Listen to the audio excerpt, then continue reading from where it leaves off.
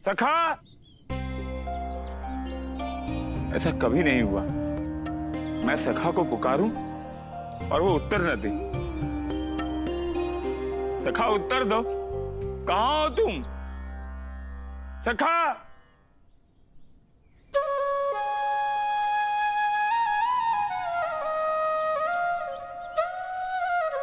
ये तो मेरे सखा के बांसुरी का स्वर है। इसका अर्थ ये हुआ कि मेरा सखा यहीं कहीं है।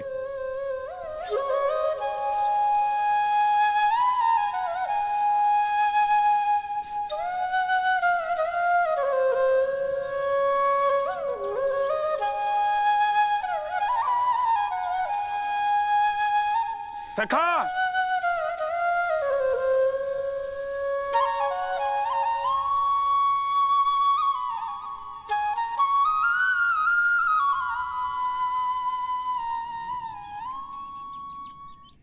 भिक्षु तुम्हारी बांसुरी की ध्वनि सुनकर ऐसा लगता है जैसे अपना सब कुछ तुम्हें दान कर दूँ। हाँ सन्यासी देव लीजिए हमारा दान स्वीकार कीजिए। क्षमा कीजिए। मैं बांसुरी अपनी प्रसन्नता के लिए बजाता हूँ। किसी की इच्छा से नहीं। मैं दान नहीं ले सकता।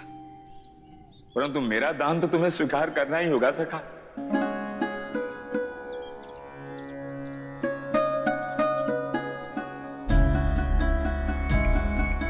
सखा तुम यहाँ?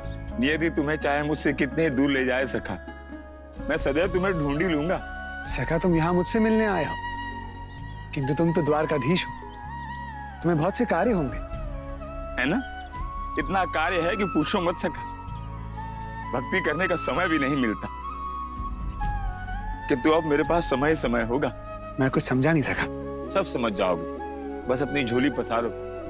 क्योंकि द्वारका का धीश तुम्हें आज कुछ दान करने आया है? सखा दान उसे दिया जाता है जो दान का पात्र हो जिसे दान की आवश्यकता हो। सखा मेरा विश्वास करो कि दान को लेने की और किसी में पात्रता नहीं है। तुम ही दान के अधिकारी हो। ऐसा क्या है सखा जो तुम दान देना चाहते हो? एक छोटी सी माला।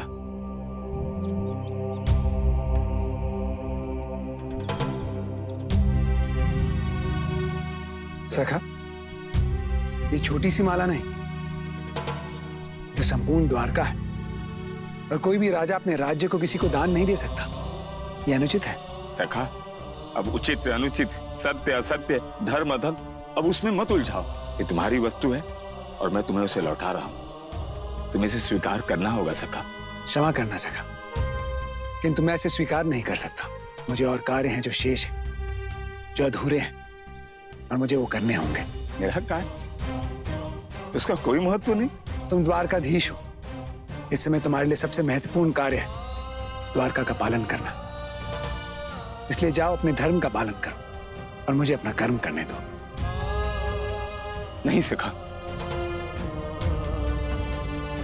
एक सिखा के रूप में नहीं तो तुम्हें एक राजा के आदेश के रूप में दान स्वीकार करना ही होगा।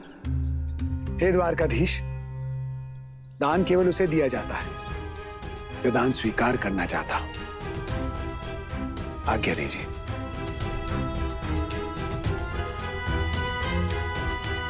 सखा एक कैसी नियति? है मेरा कैसा दुर्भाग्य है कि मैं हर बार असफल रहता तो मैं क्या करूँ, सखा? कैसे लौटाऊं तुम्हें तुम्हारी द्वारिका?